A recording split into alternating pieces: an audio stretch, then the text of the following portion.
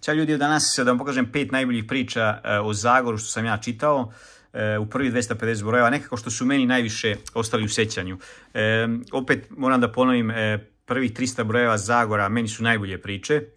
E, i meni ti baš 300 brojeva Zagora su svi u Srbiji, znači nisu mi ovdje, tako da nemam baš sećanja koji su sve priče bile. Ovdje imam nekih 50 brojeva e, tih starijih, pa odlučio sam za od tih 50 da nađem tih pet što se, trenutno što se sećam, što mi se sviđaju.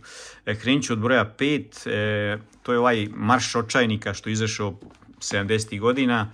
E, ajde imam u ovoj knjizi, su 3-4 nastavka, cijela je knjiga i recimo meni se ova, ova priča jako svidjela, ona mi isto ostala u, u sećanju kao klincu, tako da e, stavio sam nju na broj 5, Marš očajnika, zajedno sa e, Čiko Šerif, isto na broju 5, pošto kao klinac e, kad izašao Čiko Šerif i Fanta Čiko, meni je to isto bilo uživance, čitao sam po 20 puta e, mesečno ove stripove, tako da e, Čiko Šerif i Fanta Čiko, ajde, pošto mi nije ovdje, stavio bi na broj, na broj 5.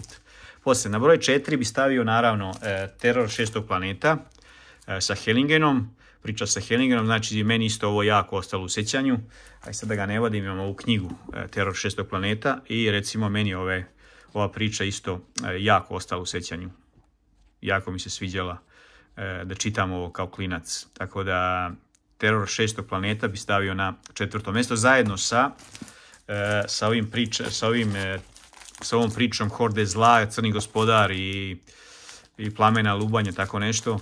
Znači isto za ove, ove tri priče e, su meni jako ostali u sjećanju kao klincu, tako da ovo bi stavio isto na, na četvrto mjesto zajedno sa terorom šestog planeta. isto odlične priče, mislim možda su malo dečije, ali meni je ovo bilo tih 80. godina jako, jako lepa priča.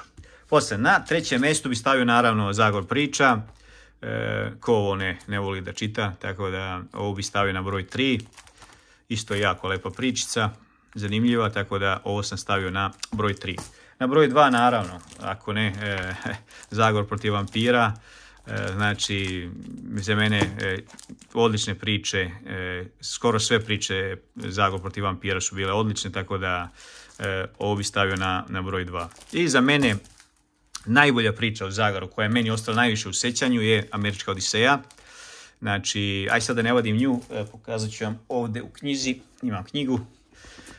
Za mene, recimo, ovo je najbolja, najbolja priča o Zagoru i najviše mi je ostalo u sećanju, iskreno, tako da za mene ovo je broj 1. Jako lepa priča. Ovo kao klinac je bilo nešto wow. Tako da, kažem, za mene najbolja priča e, u prvih 250 brojeva, recimo.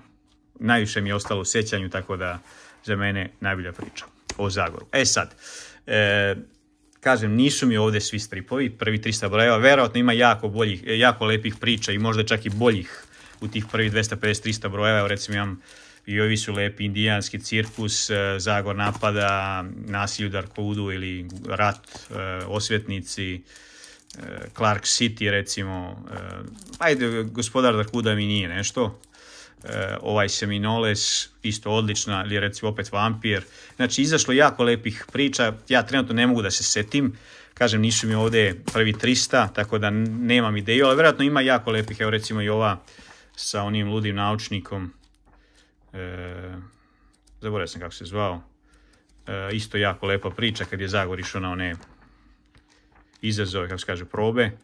Tako da, isto jako lepa priča, ili recimo e, ova, e, ili ako se sjećam ono, ukleta zemlja ili pećinski ljudi, recimo, to su isto odlične priče bile, ali kažem, nisu mi ovdje, verovatno su i one odlične priče, kažem, ima baš lepih priča u prvih 250-300 brojeva, ali kažem, nisu mi trenutno ovdje, pa stavio sam ove što su mi ovdje što, pri ruci da, da znači, kažem, verovatno ima i boljih priča. Ali opet, evo, recimo, kad pogledam i ove stripove, ovo su isto jako lepe priče. Evo i ova, znači, stvarno ima lepih, lepih, lepih priča.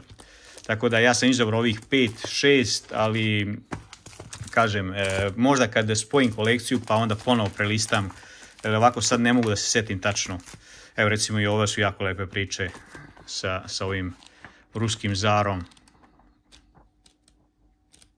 Tako da kažem, bilo je baš zanimljivih priča. Ja sam izabrao ovih, šta ja znam, 5-6 priča, ali vjerojatno kažem ima, ima, ima i ostali priči, priča jako, jako, možda čak vjerojatno i boljih.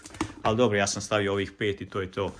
Sada ne pokažem ove, ove druge, evo recimo protiv vampira, ili ove druge priče. Maksije nisam ubrajao, specijalne brojeve nisam ubrajao, tako da e, ove novije isto, i ovo je lepa priča, ove novije isto nisam ubrajao. Gledao sam da je prvi 250-300 brojeva da bude, tako da to je to.